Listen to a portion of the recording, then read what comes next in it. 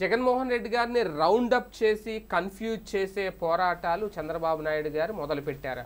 అంటే తెలుగుదేశం పార్టీకి చెందిన నేతలు ఇది చంద్రబాబు నాయుడు గారు వేసిన స్కెచ్ అనుకోవాలో లేదంటే అన్ని ప్రాంతాల్లో ఉన్న తెలుగుదేశం పార్టీ నేతలు ఎప్పటికప్పుడు జగన్మోహన్ రెడ్డి గారి నిర్ణయాలను తప్పుపడుతూ ఆ నిర్ణయాలను తెర మీదకు తీసుకువస్తూ అంటే ఒక చట్టంలో ఇరికించే ప్రయత్నంలో తెలుగుదేశం పార్టీ ముందుకు దూసుకు వెళ్తుంది అది ఎంతవరకు సక్సెస్ అవుతుంది అనేది. అంటే ఇప్పుడు జిల్లాల వారీగా కొన్ని కొన్ని అంశాలు ఒకసారి క్యాలిక్యులేట్ చేసుకుంటే అంటే ఒకసారి ప్రస్తుతం ప్రకాశం అలాగే నెల్లూరు. ఈ రెండు జిల్లాలకు సంబంధించిన తెలుగుదేశం పార్టీ నేతలు వాళ్ళ ప్రాంతానికి సంబంధించి నీటి విషయం మీద పోరాటం మొదలుపెట్టారు. వెలిగొండ ప్రాజెక్ట్ని గెజిట్లో చేర్చాలి అనేది ప్రధానంగా వాళ్ళ తెర మీదకు తీసుకొచ్చిన డిమాండ్. అంటే గెజిట్లో చేర్చకుండా ప్రకాశం నెల్లూరు ప్రజలకు అన్యాయం చేస్తున్నారు అంటూ తెలుగుదేశం పార్టీ నేతలు గత కొద్ది రోజులుగా మాట్లాడడం. అంటే ఇప్పటికే కేంద్ర మంత్రి గజేంద్ర షెకావత్ను కూడా కలిసి వెలుగొండ ప్రాజెక్ట్ని కేంద్ర గెజిట్లో చేర్చాలి అంటూ ఒక డిమాండ్ కూడా చేస్తున్నారు. వెలుగొండ ప్రాజెక్ట్ని వైసీపీ ప్రభుత్వం పట్టించుకోవట్లేదు అనేది ఒక విమర్శ.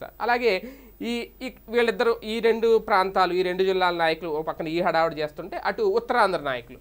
ఉత్తరాంధ్ర నాయకులు ఆ ప్రాంతానికి సంబంధించి అభివృద్ధి మీద ఆల్రెడీ ఒక రౌండ్ టేబుల్ సమావేశం ఏర్పాటు చేశారు. టీడీపీ హయాంలో ఉత్తరాంధ్ర అభివృద్ధి ఏ రకంగా జరిగింది? ప్రస్తుతం జగన్ ప్రభుత్వం ఉత్తరాంధ్రను అభివృద్ధి చేయడం లేదు అంటూ తెలుగుదేశం పార్టీ నేతలు తెర మీద తీసుకురావడం ఉత్తరాంధ్రలో జరుగుతున్న పరిస్థితి. అంటే ఇంకా మరొకటి అక్కడ విశాఖ స్టీల్ ప్లాంట్ విషయం కూడా.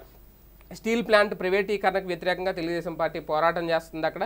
అలాగే వైసీపీ నేతలు భూ కబ్జాలకు పాల్పడ్డారు అంటూ ఎప్పటికప్పుడు ఆరోపణలు గిప్పిస్తూ అక్కడ కూడా యాక్టివ్గా ఉంది. ఒక పక్కన ప్రకాశం నెల్లూరు అలాగే ఉత్తరాంధ్ర నేతలు కూడా చాలా యాక్టివ్గా ఉన్నారు. ఇక తూర్పు పశ్చిమ గోదావరి జిల్లాల విషయానికి వస్తే అక్కడ పోలవరం ప్రాజెక్ట్ అంశం ఎలాగా ఉండనే ఉంది.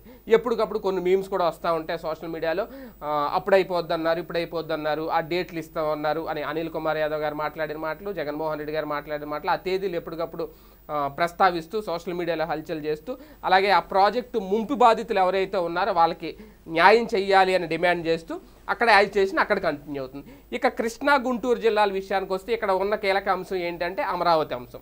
అమరావతి అంశంతో పాటు చాలా అంటే చాలా అంశాలే ఉన్నాయి ఇక్కడ. తాజాగా రాయలసీమ టీడీపీ నేతలు కూడా ఇప్పుడు అక్కడ ప్రాజెక్టుల విషయంలో ఒక కొత్త యాజిటేషన్ అయితే మొదలుపెట్టారు.